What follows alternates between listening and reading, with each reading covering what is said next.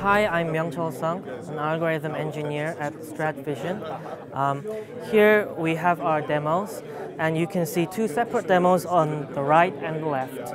So on the right, um, what you're seeing here is a live feed from a GoPro attached on a Mindstorm going around at the back.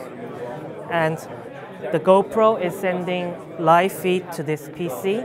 And what you're seeing here is three detectors, uh, the pedestrian detectors, the vehicle detectors, and text detection and recognition. Um, the text recognition, we can do English and Chinese at the moment, and we're working on other languages as well.